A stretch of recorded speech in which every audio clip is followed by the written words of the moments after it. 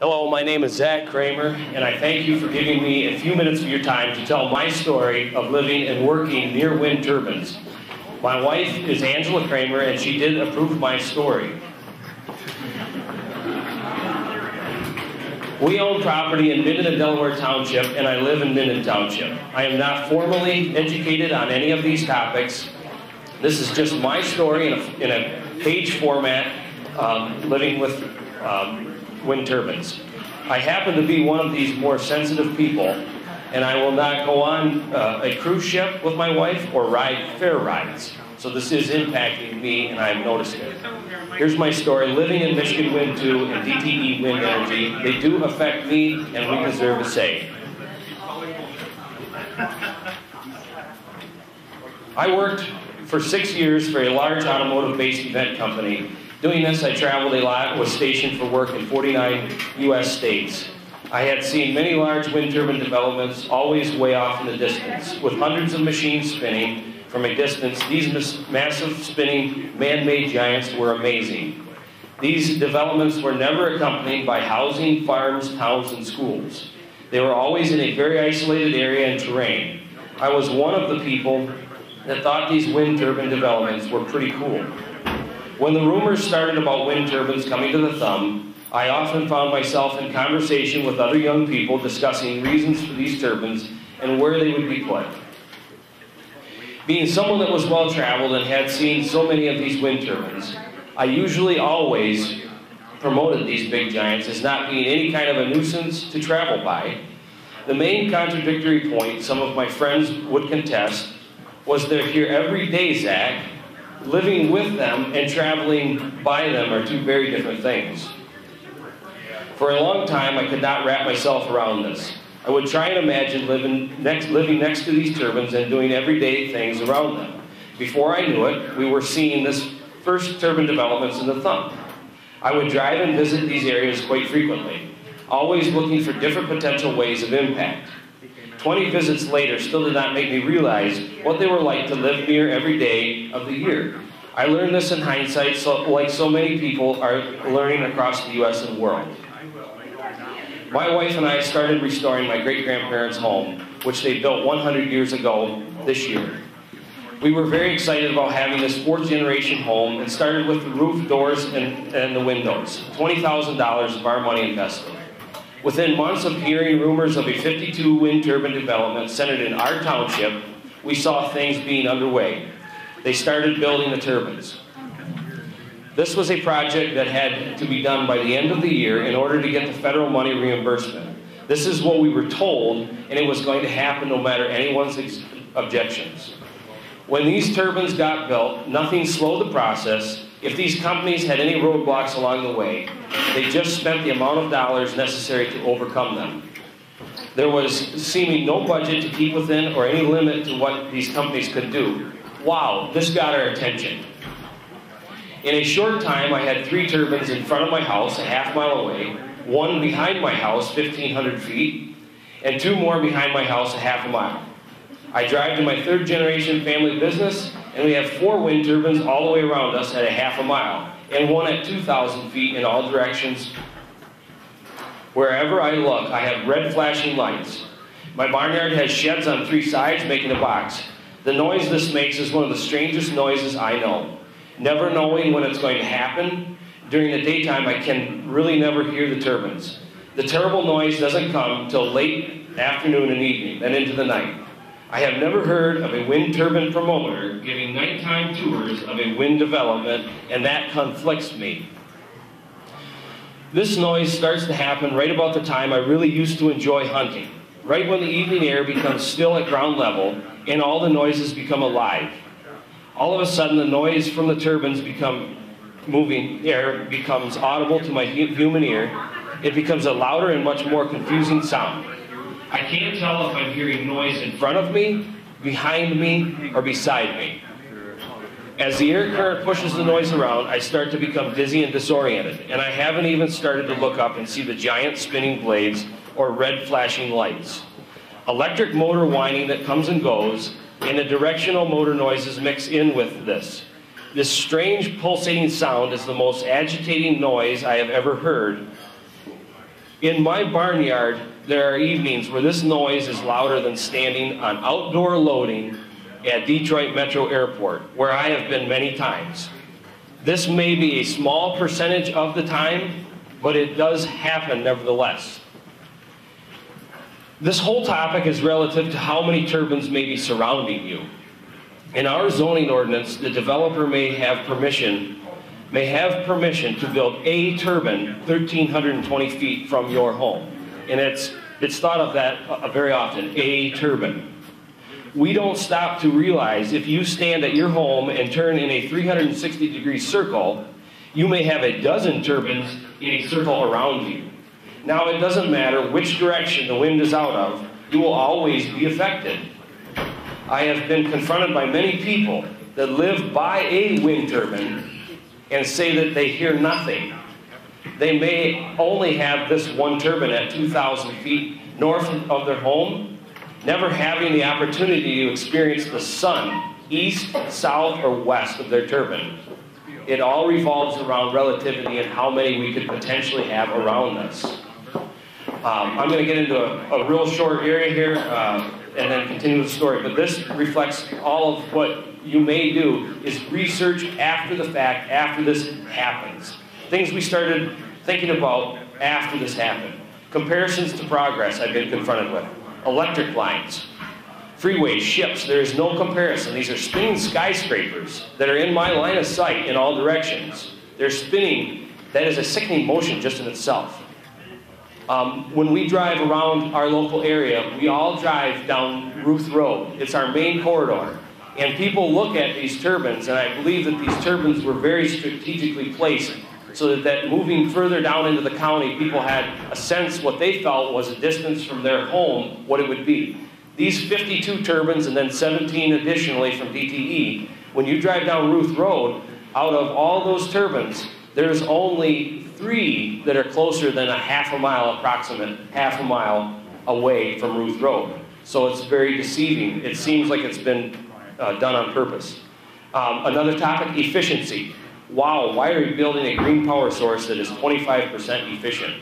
Um, you can go on about that for a long time, but I believe, simply put, this is not green. High efficiency is green by definition. 25% is not efficient. A subsidy, that could be a long, drug out topic. I won't talk for very long about it, but they're subsidized. Um, the electrical output, I believe, um, data should be affordable for all of the public to see. An app on our computer or even a visible meter at the road where they're running at. Possibly 20 or only 30% capacity of their nameplate generation. If we saw those types of examples, we would be able to realize this doesn't make sense, but they're all, all, all those examples are hidden from us. Sustainability if they don't, if they're not efficient enough to create their own revenue, who will be able to keep funding them? All of the entities and individuals, including the landowners, will quit receiving any money. America just needs the electricity, and you guys are forced to live with them. If you don't like that, move out. This is called just another canceled program, I believe. It's potential.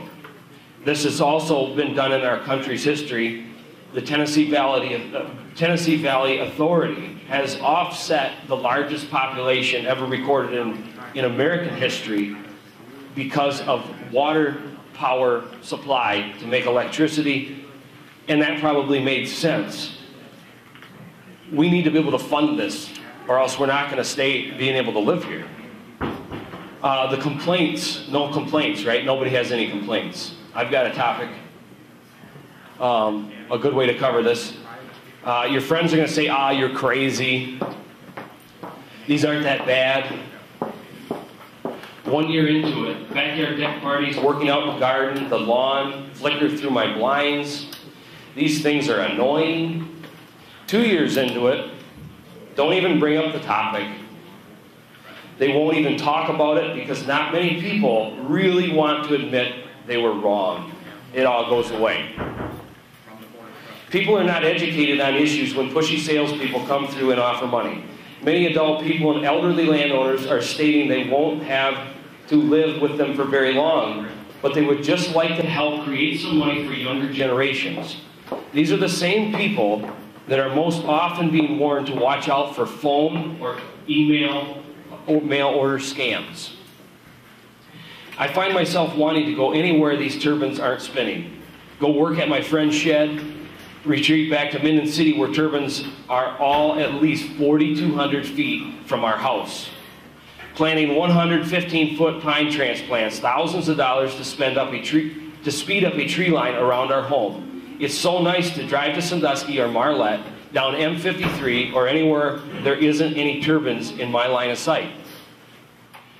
If our zoning and regulations are not in play, promises by wind companies to only have one or two per square mile will not be recognized.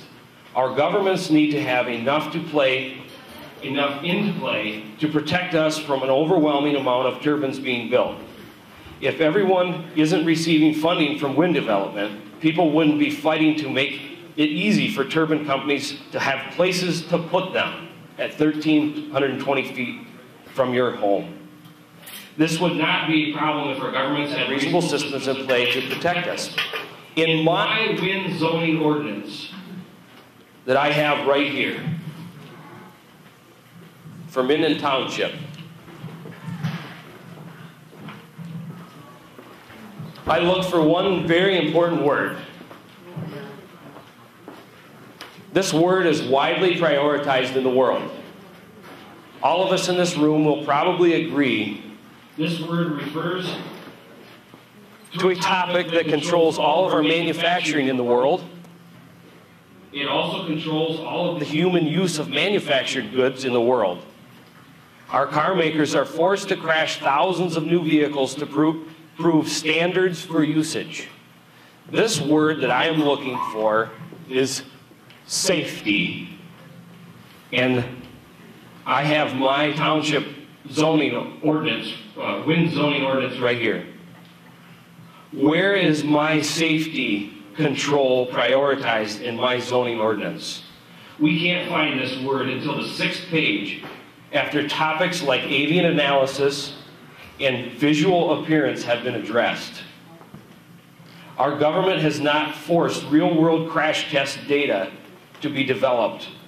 These turbines should have been tested with mechanical failure scenarios and data collected to provide worst case scenario distances from homes, schools, road right of ways, and non participants.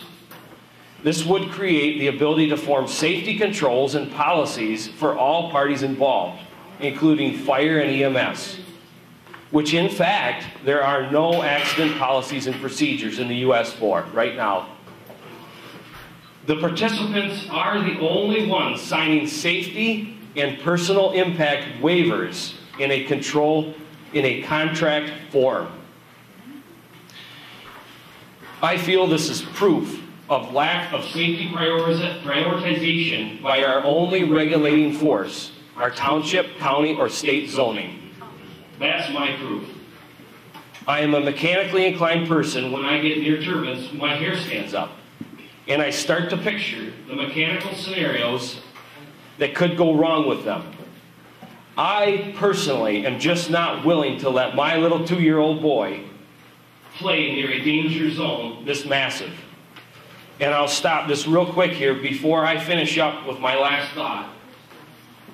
Over the last week, I was able to have this article given to me. And you guys, if you can write this down, or we don't have any handouts for this article.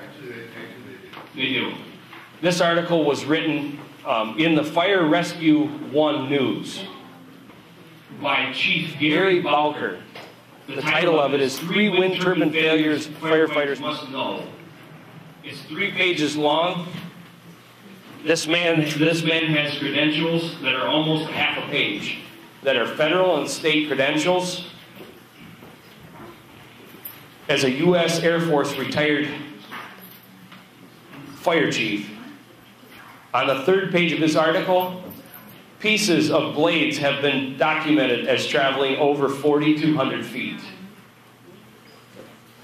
That's why I say I will not let my little boy play within these distances that we don't have any control parameters for.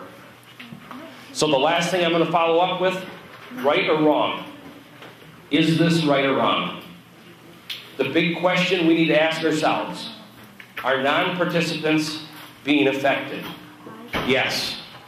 Should we as affected homeowners have a say for safety? Yes.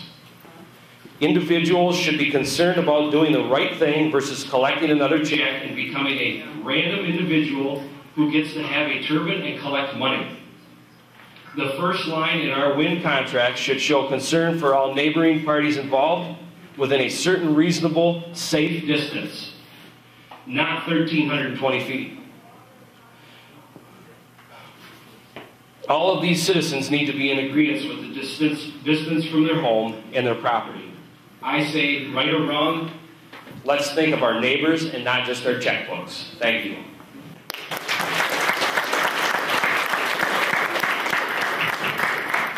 Thanks, Zach. Uh, is Dennis Weber still here did he take off? Oh, sorry, I didn't see you right here. Okay, we have, we're going to stop our formal part of the presentation right now, but I know some of you may be elected or appointed officials. We have a couple of people I want to recognize. Uh, Bob McLean is from the Paris Township uh, Planning Commission. He's the vice chairman, right? And he was the vice chairman of the wind turbine subcommittee in Huron County. And Dennis is the zoning administrator from Denmark Township, where they ultimately rejected a wind energy project. He, he's a great guy and a great resource. So if any trustees or supervisors want to ask any kinds of, or, or commissioners want to ask any questions about the nuts and bolts of zoning for these kinds of things, these guys are available here. And I'm going to turn over to Ramey. All right, well, we want to thank you all for coming. Uh, want to thank our four speakers, uh, Ted and Richard and Kevin and Zach. They did a wonderful job of getting us the information we asked them to get out to you.